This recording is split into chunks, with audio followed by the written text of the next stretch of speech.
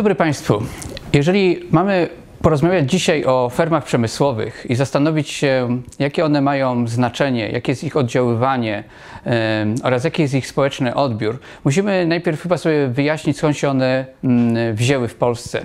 E, bo fermy przemysłowe nie jest to zjawisko, które nie istniało wcześniej, kilkadziesiąt lat temu, ale trzeba przyznać, że w ostatnich latach fermy przemysłowe e, no, stały się zjawiskiem coraz częstszym w naszych wsiach i budzą różnego rodzaju opinie i kontrowersje. Pierwszą kwestią, którą tutaj musimy zaznaczyć, to jest problem tego typu, że w ostatnich powiedzmy 50 latach, jak na przykład wskazują dane FAO, gwałtownie, wzrosła, gwałtownie wzrosło spożycie mięsa. Jak widzimy tutaj na tym pierwszym wykresie, te spożycie mięsa wzrosło rosło dynamiczniej od początków lat 60. w porównaniu z przyrostem ludności. Co to oznacza? Oznacza to, że jedliśmy więcej mięsa nie tylko dlatego, że przybywa ludzi na Ziemi, ale jedliśmy go też więcej dlatego, że po prostu konsumpcja mięsa w przeliczeniu na każdego mieszkańca globu po prostu także rosła. Znakomicie to widać na, w tej tabeli. E, gdzie e, są dane umieszczone dotyczące konsumpcji czy średniego spożycia e, mięsa rocznie na ziemiach polskich na jedną osobę. Cofniemy się tutaj aż 200 lat wstecz. Na początku XIX wieku ta konsumpcja w przeliczeniu na jedną osobę wynosiła niecałe 10 kg.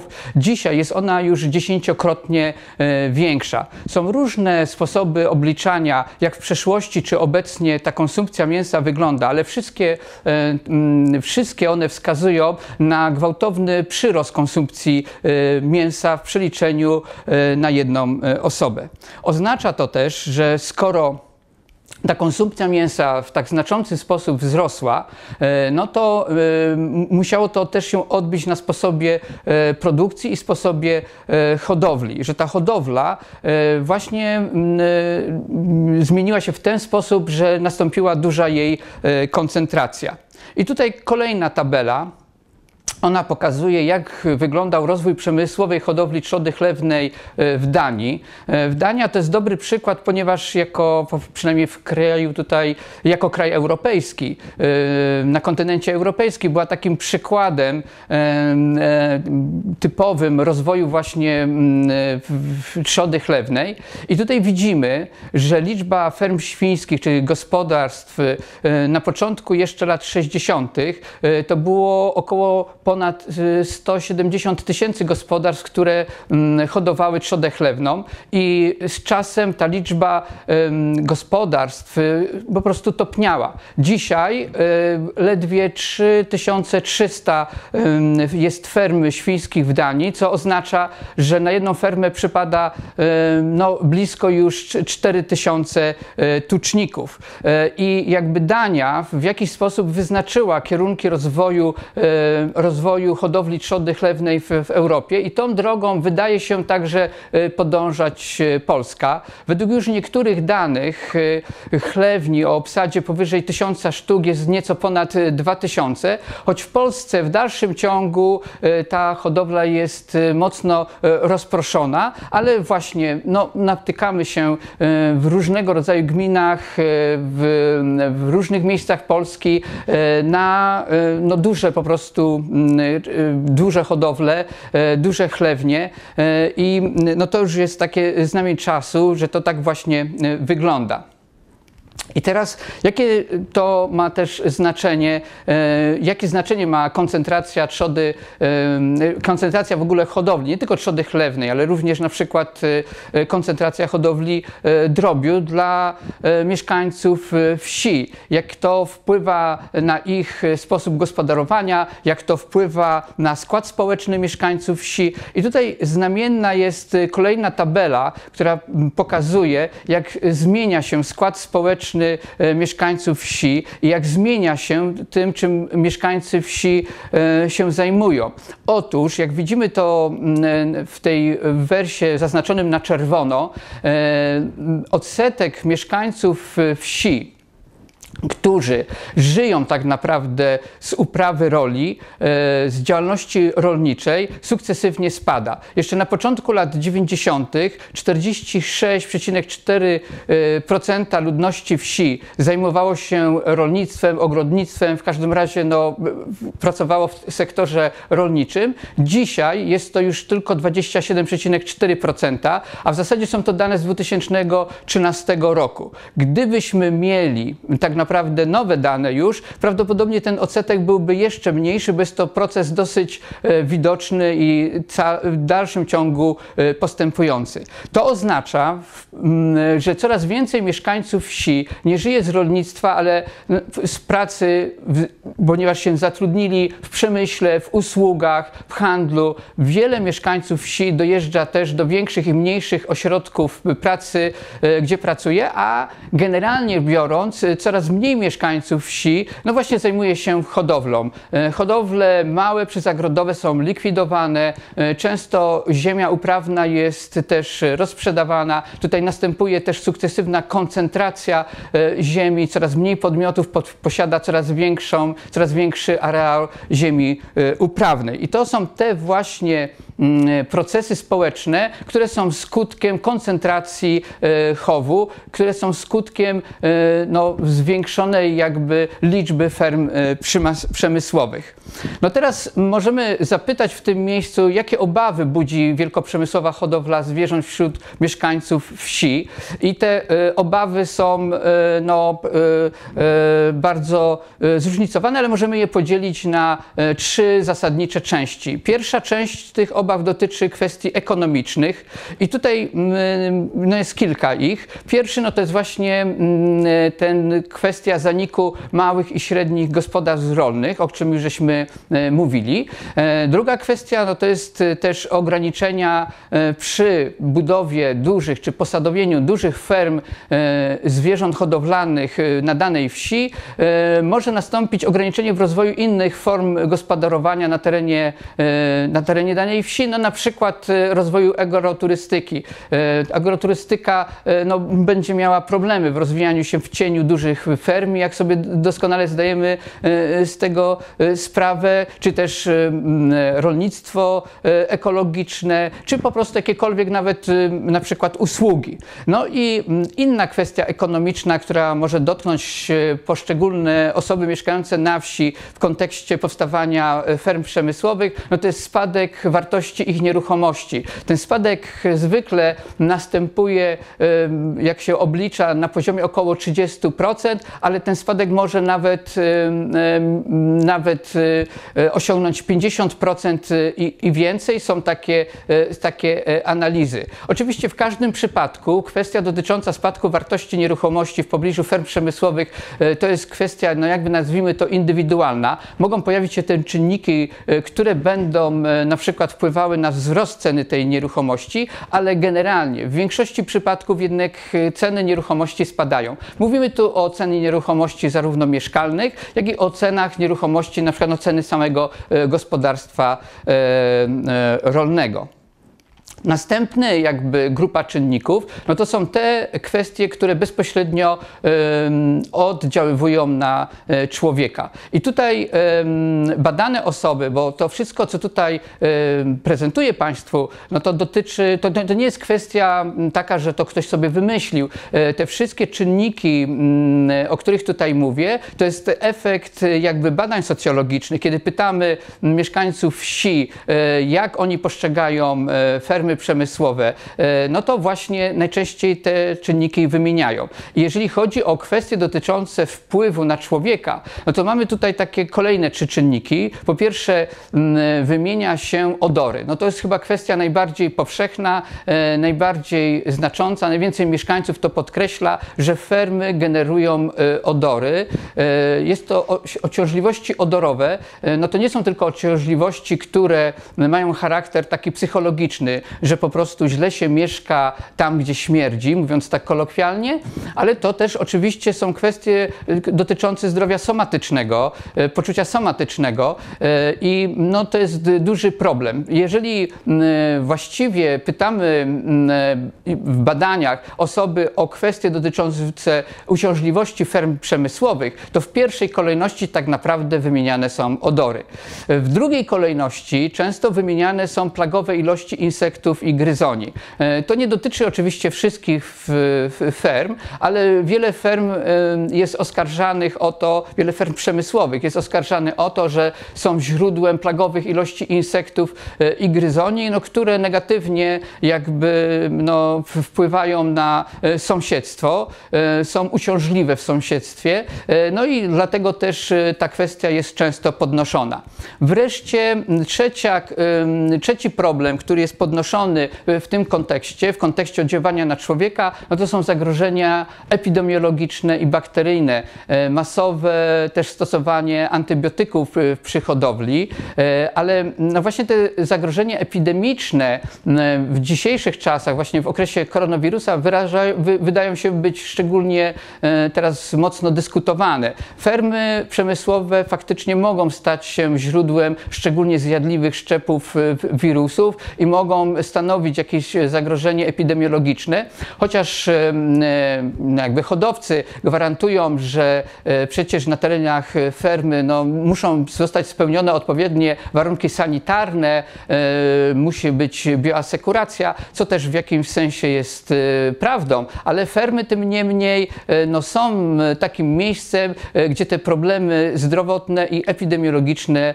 mogą się nasilać. Wreszcie trzecia grupa e, problemów podnoszonych przez e, mieszkańców w badaniach socjologicznych e, dotyczy, nazwijmy to, kwestii środowiskowych. I tu podnosi się przede wszystkim w pierwszej kolejności zatrucie gleby i wód. Ludzie po prostu obawiają się, że fermy przemysłowe, odpady pohodowlane, no po prostu mogą doprowadzić do zatrucia gleby i wód, tak powierzchniowych, jak i, jak i podziemnych. I to ta kwestia e, faktycznie mm, jest bardzo żywo dyskutowana. E, inną, innym problemem jest kwestia dotycząca emisji gazów cieplarnianych. E, to też jest kwestia coraz częściej podnoszona. Hodowle, duże hodowle mm, generują relatywnie dużo gazów cieplarnianych. Ten problem coraz częściej jest też podnoszony przez różne międzynarodowe gremia. Jest wskazywane, że nie tylko przemysł wydobywczy, nie tylko e, paliwa e, z przemysłu wydobywczego, czy to będzie to o węglu mówimy, czy o ropie naftowej, są źródłem zwiększonej emisji gazów cieplarnianych, ale także właśnie hodowla zwierzęca. Więc i ta kwestia jakby jest coraz częściej podnoszona w naszych, w odpowiedziach na nasze pytania w badaniach socjologicznych. No i trzecia kwestia to jest dobrostan zwierząt, jak są traktowane zwierzęta zwierzęta. E, tutaj się z kolei mówi, że zwierzęta e, w fermach przemysłowych no nie chcą i nie mogą być dobrze traktowane, bo te warunki jakby mocno odbiegają od ich e, no, normalnego jakby mm, sposobu funkcjonowania i no, że po prostu generalnie w tych warunkach, jakie oferują im fermy przemysłowe, one się męczą. Ale w tej jakby kwestii dotyczącej dobrostanu zwierząt jeszcze jest jakby jedna kwestia podnoszona. Ta kwestia mianowicie jest w ten sposób ujmowana, że mówi się, iż e, zwierzęta e, na fermach są w ten sposób jakby skarmiane i żyją w takich warunkach, że one generalnie, jeżeli już e, potem są ubijane i mm, po prostu konsumowane, że nie są to po prostu towar najwyższej jakości, w tym sensie, że one nie są po prostu zdrowe, że to mięso pochodzące z ferm przemysłowych nie jest zdrowe, ponieważ zwierzęta te nie są, nie mogą się zachowywać w sposób naturalny, nie, mogą, nie są też odżywiane w sposób naturalny, tylko właśnie skarmiane specjalnymi e, paszami. Więc e, jak Państwo widzicie, tych obaw związanych z funkcjonowaniem ferm przemysłowych jest dosyć e, sporo. Te obawy wyrażają także bezpośrednio mieszkańcy, mieszkańcy wsi. No i teraz można by było kilka słów y, poświęcić temu, jaki jest społeczny, jaki jest stosunek społeczeństwa do ferm przemysłowych. E, I tutaj y, możemy powiedzieć, że jakie są też wyobrażenia Polek i Polaków na temat y, hodowli. Ile, jak sądzą badani na przykład, ile zwierząt powinno być chowane w gospodarstwie.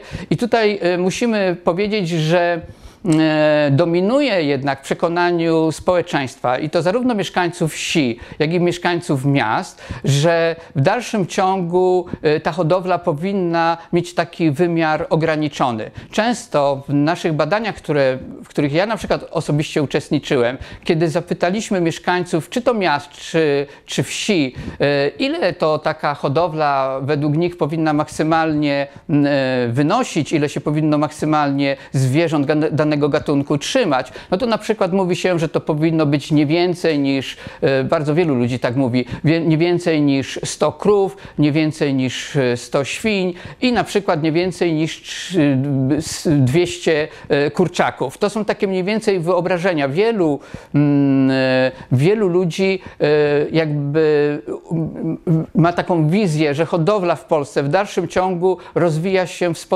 taki w sposób przyzagrodowy e, i, i tak też postrzega tą, tą hodowlę i tak jest też, e, taka też jest e, wizja wsi.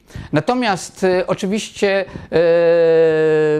Polki i Polacy e, wiedzą też, e, co to jest ferma przemysłowa e, i wbrew pozorom potrafią to badani dosyć dobrze zdefiniować. Kiedy pytamy o to, no to wymieniają tutaj jakby dwa takie, dwie takie czynniki, które jakby podnoszone są przy definiowaniu fermy przemysłowej. No to jest to takie kryterium ilościowe, że często mówi się, że to jest po prostu dużo zwierząt w jednym stadzie, czy że to jest po prostu produkcja masowa masowa, tak? to się podnosi ten aspekt ilościowy oraz y, sposób wyżywienia y, jako na drugim miejscu jest wymieniany i tutaj na przykład tak jest tak, też taka y, jakby cytat, że to jest sztuczne karmione zwierzęta specjalnie przygotowanymi paszami i tak dalej. I można powiedzieć, że oba te, te cechy, które jakby nakłada się na, czy tymi, oba tymi kryteriami, którymi się definiuje fermy przemysłowe, to w zasadzie one są słuszne, czyli te wyobrażenia na temat, czym jest ferma przemysłowa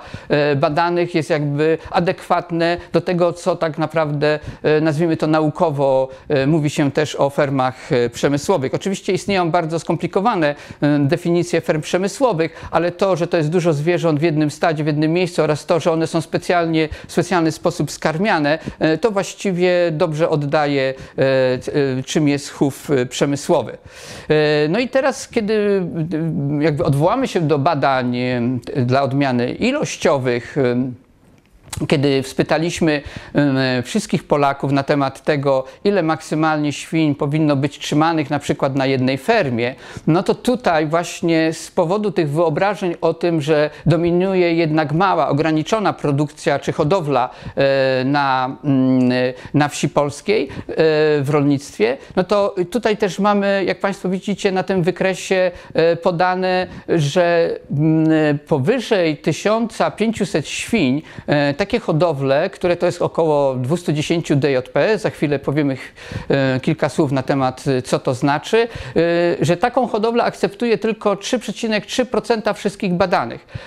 Zdecydowana mm, pozostała część widzi te hodowle dużo mniejsze, a 27,9% nawet właśnie mówi, że to nie powinno być więcej niż 100 świń. Takie jest wyobrażenie i tu chciałbym jeszcze raz podkreślić, że to nie dotyczy tylko mieszkańców miast. E, taka, oczywiście mieszkańcy wsi są bardziej realistyczni w swoich poglądach na temat tego, jak wygląda lub powinna wyglądać hodowla e, zwierzęca. Natomiast e, i tam właśnie te zróżnicowanie, czyli wśród mieszkańców wsi jest dobrze, dobrze widoczne. Podobna, podobna sytuacja jest, jeżeli chodzi o kurczaki. Tutaj jeszcze mniej, bo taką dużą liczbę, czyli więcej niż 50 tysięcy, czyli też w okolicach 210 DJP, akceptuje tylko 2,3% Polek i Polaków. No i to też pokazuje nam, że i w tym przypadku ta akceptacja ogromnych ferm przemysłowych, dużych ferm przemysłowych, czy w ogóle dużych hodowli jest bardzo ograniczona, przynajmniej w stosunku do tych dwóch podstawowych gatunków, no bo dzisiaj jakby produkcja drobiu i wieprzowiny jest jakby tutaj kluczowym dla całego przemysłu, jest to kluczowa dla całego przemysłu mięsnego. E, no i teraz właśnie wróćmy do tego mm, pojęcia duża jednostka przeliczeniowa, DJP. E, DJP tak naprawdę mm, e, to jest taka kategoria wprowadzona przez polskie prawo, ale nie tylko.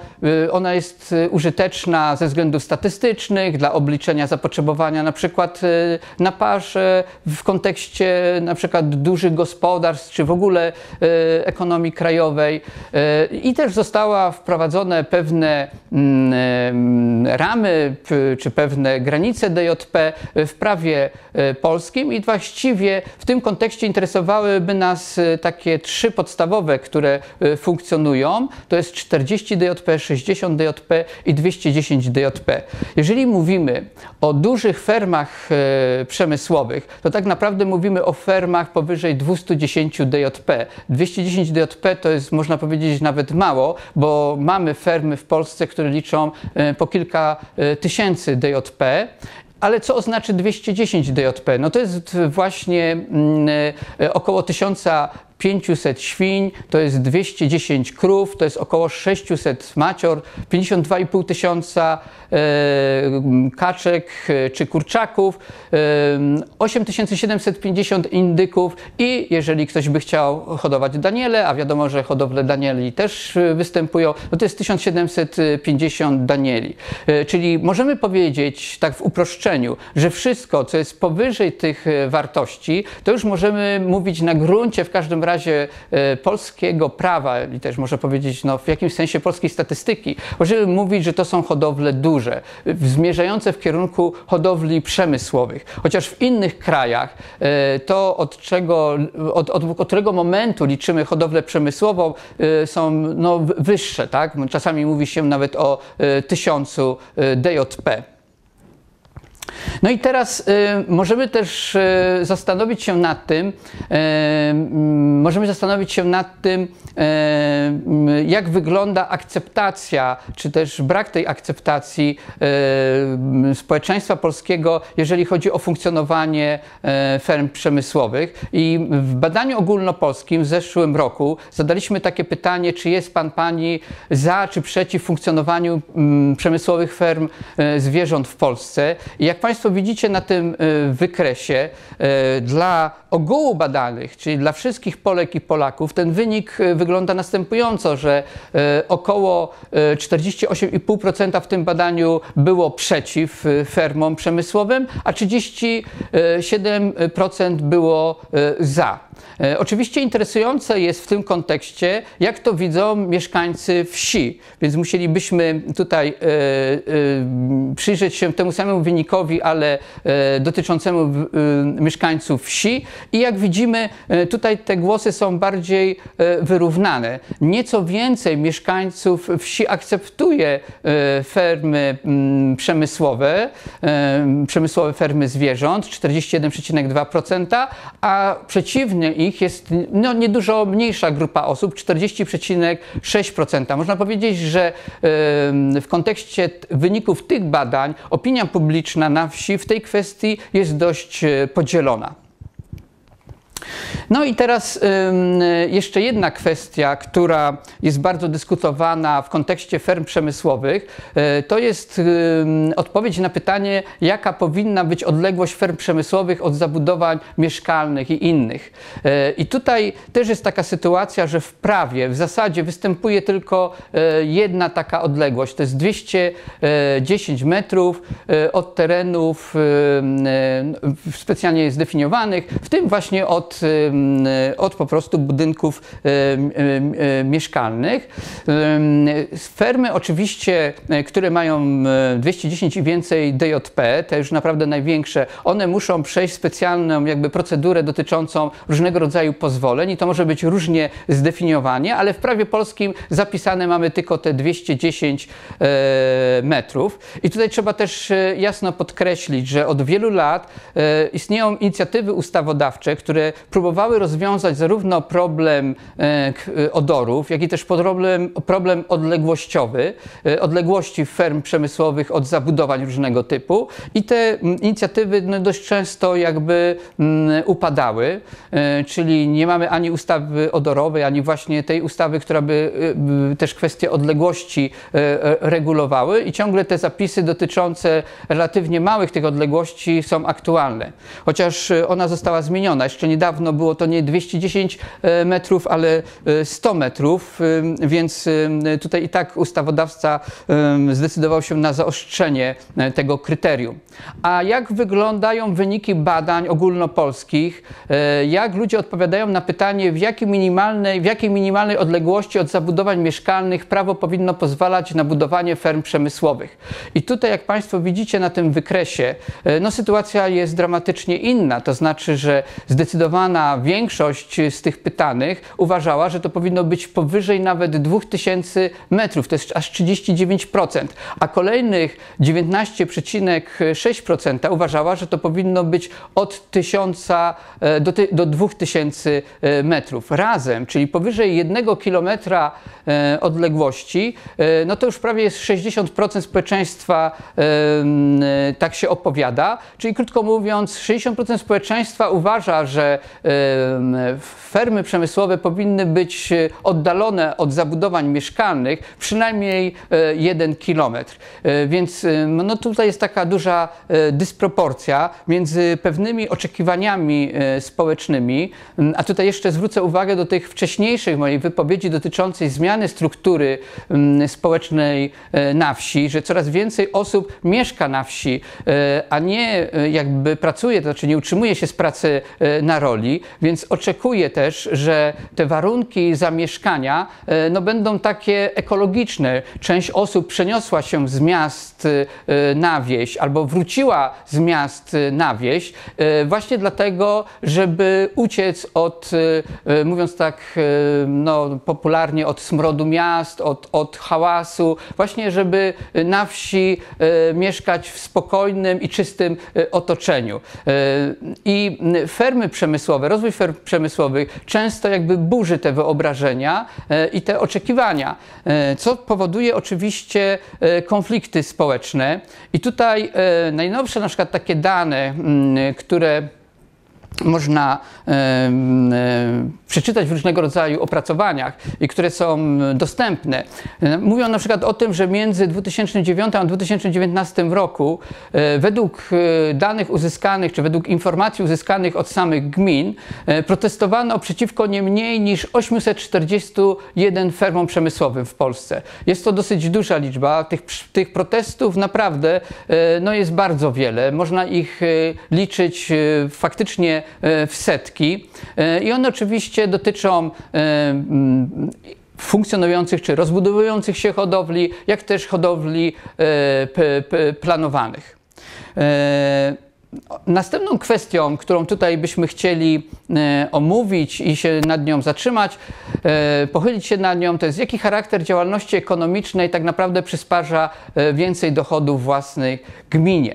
Tutaj mm, oczywiście czasami zdarza się takie, czy można, czy można spotkać się z takim zdaniem, że, no, że rozwój dużej hodowli, ferm przemysłowych, nie, to, jest, to jest właśnie rozwój, to jest właśnie rozwój dla gmin i, i, e, i żeby gmina się rozwijała, e, no nie można jakby tego e, ograniczać. No ta sytuacja niestety jest dużo bardziej skomplikowana, no bo okazuje się, że jak tutaj Państwo widzicie na tym wykresie, kiedy porównamy podatek rolny i podatek PIT, e, udział podatku rolnego i podatku PIT w dochodach własnych gmin wiejskich i miejsko-wiejskich, to w Polsce w latach 95-2019 widzimy wyraźnie tendencję taką, że ten podatek pitowski, tutaj to jest ta czerwona linia na wykresie, wyraźnie zaczyna dominować nad podatkiem rolnym, czyli dochody własne gmin e, w coraz większym stopniu, e, gmin wiejskich i miejsko-wiejskich, w coraz większym stopniu, e, no po prostu zależą od tego, jaki jest, jaki jest ten podatek pitowski, ile osób odprowadza ten podatek pitowski, ile osób żyje na wsi, czy też te osoby po prostu ze wsi uciekają. Dużo to też, duże też tutaj ma znaczenie oczywiście to, że coraz więcej mieszkańców wsi po prostu żyje z pracy poza rolnictwem. No i w związku z powyższym ta kwestia dotycząca tego, jak się kształtują dochody gminy, nie jest taka oczywista. Często Często możemy powiedzieć, że ewentualne korzyści podatkowe e, płynące z dużych ferm przemysłowych no, są ograniczone tak naprawdę, że one nie są takie, nie są takie duże, a przypuszczalne koszty e, mogą być funkcjonowania takiej fermy przemysłowej w danej gminie mogą być e, stosunkowo, stosunkowo duże.